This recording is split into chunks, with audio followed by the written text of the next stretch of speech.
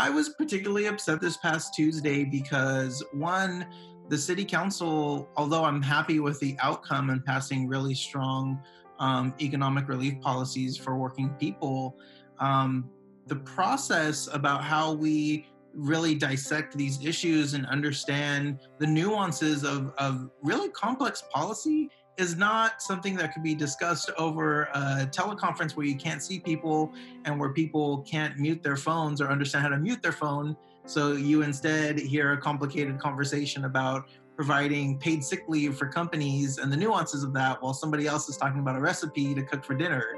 Um, you know, to me, it also highlights the fact that like our city council is um, part time and they have other responsibilities, and that if we for a long time, Long Beach has acted as though we're a small town when we're in reality, we feel like a small town, but we're a major city. We're the second largest in LA County. Have home to half a million people, and we have big city problems. So it's about time that we grow up. It's about time that we have a full time city council that can actually engage in these issues.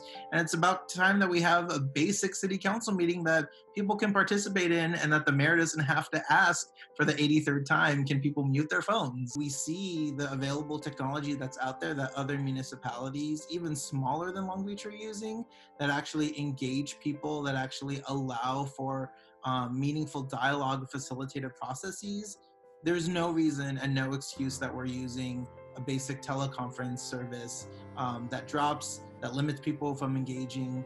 Um, and for a city of our size, there's no reason we should be limiting ourselves to this kind of process. So, my only conclusion that I can draw from that is that it's intentional.